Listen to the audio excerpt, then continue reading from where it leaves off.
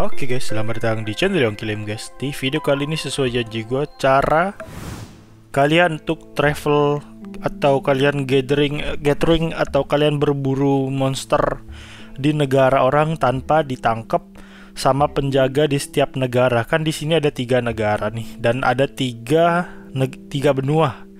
Ada South, Central, ada West sama ada East. Caranya sini gue bakal kasih tahu kalian guys agar kalian tidak ditangkap penjaga ketika kalian kayak contoh kalian mau ngeburu grand grand grand boss atau red boss di setiap negara itu guys. Dan cara untuk kalian berganti faksi guys. Gue bakal eh mengganti keluarga negaraan intinya di sini. Kalau di sini sebutannya faksi. Ada south ada east ada west itu guys ya. Di sini pertama gue bakalan kasih tahu cara buat kalian buat traveling ke negara orang tanpa ditangkap sama penjaganya. Pertama kita traveling ke tempat yang kayak gini-gini nih guys. Eh, bentar. Gua lihat dulu. Bukan ini buat ganti faksi, bukan, bukan, bukan. Kita cari lagi guys. Kalian ke map, pokoknya kalian ke map. Kalian cari gambar yang bentuknya kayak mana-mana. Nah, ini nih kayak gini nih. Nah, harbor. Kayak ke harbor kayak gini guys. Tapi kalian kalau di sini kan harbornya di dekat yang west ya. Di sini gua bakalan tunjukin ke harbor yang dekat ke bagian east. Nah, di sini nih, gua tunjukin di sini. Kalian teleport aja. Ini gua udah teleport, udah pernah ke sana guys, teleport. Ini cara yang mungkin ada sebagian yang udah tahu, mungkin banyak juga yang belum tahu. Jadi gua kasih tahu aja guys ini guys ya. Ini caranya kalian kalau misalkan di tempat atau di negara kalian itu grand bossnya udah habis kalian coba cari aja di tempat lain kayak gitu guys. Di negara lain. Makanya itu cara gampangnya misal kalian lagi mau cari embergator nih. Embergator kan misalkan lagi rame itu yang butuh embergator di south udah habis mungkin udah jarang respon udah nggak ketemu temu kalian coba pindah ke negara orang guys. Ke west atau ke east gitu guys. Buat cari embergator gitu. Sini kalian dari tempat kayak gini kalian pokoknya langsung ke tempat harbornya kayak gini guys. Nah itu jalan ke yang arah rumah kayak gini nih. Nah itu kan ada penjaganya. Penjaganya jangan kalian pukul ya jangan kalian hit ya. Nanti kalian berak di bantainya. Kita ke orang ini guys. Kalian nah ada tulisan send out kalian klik. Nah ini nih kalian pilih go to east mount atau ke west mount. Kalian pilih aja kalian mau ke bagian yang mana guys. Kalau east mount itu gambarnya kayak api-api. Kalau east west west mount itu eh west mount gambarnya kayak beruang gitu. Sini gua pilih yang east mount. Nah ini nih. Ini ada biaya buat kalau kalian mau ke sana guys biayanya itu per jam ini berapa kauri? Kauri ini gampang kan nyari guys. Ya kalian bisa jual-jualan di auction lah di jual-jualan atau dari quest juga dapat kauri-kauri kayak gini guys. Kauri-kauri kayak biji kopi kayak gini nih. Ini untuk ber 6 5 jam gue bakal ngambil yang 6 jam kali ya atau 4 jam ya ntar. Untuk hunting gue bakalan ngambil bentar. Gue masih ragu nih mau ngambil yang berapa jam nih kita klik-klik 4 jam kali cukup kali ya. 4 jam terus yang gatheringnya hmm, sejam cukup kali. Atau dua jam. Dua jam aja guys. Kita klik aja kita confirm. Let's go. Kita lihat apa yang terjadi. Nah kita pindahin ke tempat langsung ke east oh ada animasinya dulu nih. Animasinya kapal kayak gini. Oh lumayan keren nih. Ini sinematik juga nih. Sinematiknya keren guys. Waduh karakter gue rubah putih pakai kostum satu set rubah putih juga.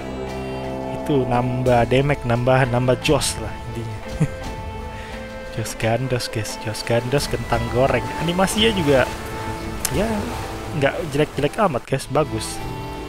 Waduh masih belum sampai. Kita lama. Ini bakalan gua skip. Kita skip aja guys. Kita langsung dipindahin di sini. Di mana nih? Ini di rumah-rumah orang kali ya kita dipindahin di rumah orang kayak gini. Nah itu ada deket tower gitu kita aktifin dulu towernya kali ya. Kita ke arah tower itu guys kita aktifin dulu towernya biar gampang.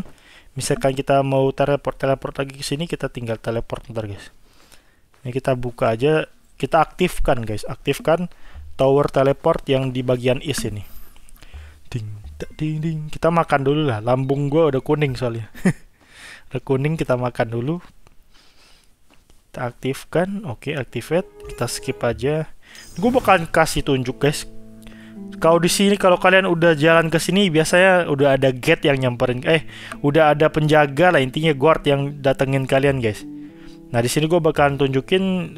Guardian guardiannya tuh gak bakal nyamperin kalian. Di sini gue bakal tunjukin dengan cara gue nebang pohon.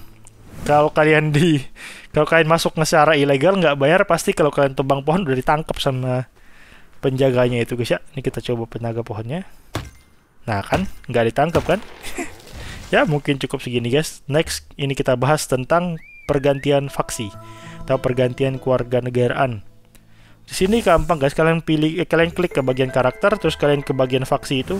Terus kalian klik send ke faksi kalian guys. Nah sini gue suruh teleport ke situ atau disuruh jalan ke situ guys. Kita jalan ke situ jaraknya 2,3 mil pokoknya kalian ke bagian karakter habis itu kalian klik ke bagian faksi guys faksi kalian kalian klik terus ada tulisan send to mana-mana itu ini gue skip udah hampir mau sampai oke kita mau sampai guys gampang sih buat ganti faksi itu guys nggak susah kalau kalian misalkan udah ada di server mana pun kalian mau ganti faksi, ketemu bareng sama teman-teman kalian di negara yang sama gitu. Di sini kita masuk. Nah, ini guys mapnya. Oh, ini nih, ini karakter kita ke orang-orang kayak gini guys. Kita masuk sini. Nah, itu ada tulisannya Cheng Faction. Faksi kalian bisa diganti di sini guys. Kalian klik aja Cheng Faksi. Change faction kita klik. Nah, ini kalian bisa pindah ke Westmont atau ke Eastmont. Terus gantung kalian tinggal bayar 50 sage. Eh 500 sage maksudnya. Kalau sini gue gak bakal, gue belum bakalan ganti faksi guys karena gue masih belum banyak explore resort. Gue masih harus explore explore lagi di guys. ini ada, nah. Kalian pokoknya klik yang kayak gini guys. Pokoknya kalian klik dari karakter kalian. Kalian jangan cari di map-map yang gambarnya kayak eh, yang tulisannya friend bureum. Soalnya kalau kalian tadi gue udah coba guys. Gue cari sendiri tanpa gue klik dari yang karakter info karakter gue sini gue kecari ya. Gue cari cari cari cari cari cari dulu. Bentar. Bentar bentar bentar bentar bentar nah ini nih. Tadi gue ke sini nih guys. Tadi gue ke tempatnya sini tapi pas gue sampai sana gue mau gue deketin NPC-nya musuh. Itu nggak ada tulisan Cheng Faction. Jadi kalian kalau mau Cheng Faction kalian harus sesuai instruksi dari ini nih guys. Nah kalian klik-klik yang kayak gitu tuh. Baru kalian bisa ntar dapat notif buat Cheng Faction. Ini ada monster masuk rumah gimana nih? Kita timing guys. Kita tangkap kita tangkap jebret